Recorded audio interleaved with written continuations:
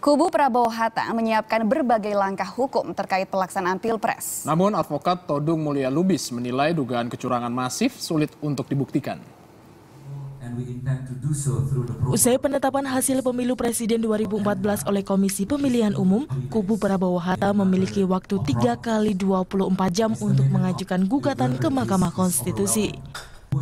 Kini mereka menyiapkan berbagai langkah, termasuk membentuk panitia khusus di DPR langkah-langkah politik ini bisa nanti berujung kepada uh, pembentukan pansus, uh, pansus pilpres ya.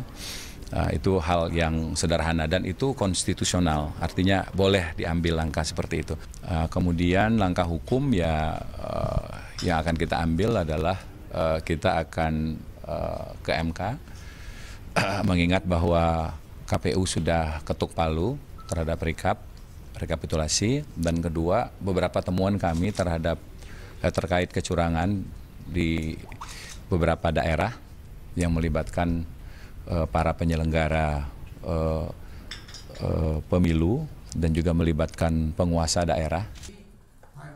Terlepas dari hasil pilpres, pihak Prabowo Hatta juga berencana mendesak Bawaslu menyelesaikan laporan mereka tentang dugaan kecurangan di sekitar 52 ribu tempat pemungutan suara.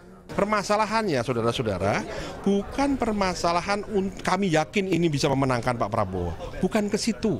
Yang paling penting sekarang adalah kita berbicara kan sekali berkali-kali saya katakan kita mengangkut pada proses.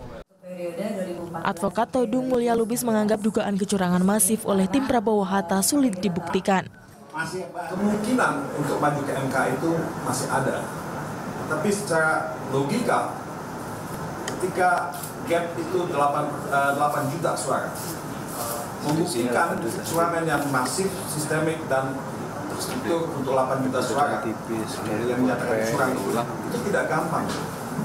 Pengalaman saya menangani kasus pilkada di MK, kalau 1000 atau 2000 suara itu masih mungkin. Kalau ada kecurangan di 1-2 TPS atau 1-2 kabupaten itu masih mungkin. Tapi 8 juta, Bung, It's not small numbers. It's a big number, huge number.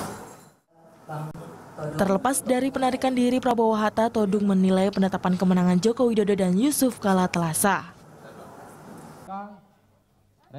Sebelum KPU menetapkan hasil Pilpres, Capres Prabowo Subianto menuding rekapitulasi KPU cacat hukum dan ia menolak pelaksanaan Pilpres. KPU tetap melanjutkan rekapitulasi. Hasilnya Prabowo Hatta mendapat 62.576.444 atau 46,85 persen suara. Sedangkan Jokowi JK peroleh 70.997.833 suara atau 53,15 persen dari total suara. Selasa malam KPU akhirnya menetapkan Joko Widodo dan Yusuf Kala sebagai Presiden Indonesia periode 2014-2019. Tim Liputan melaporkan untuk NET.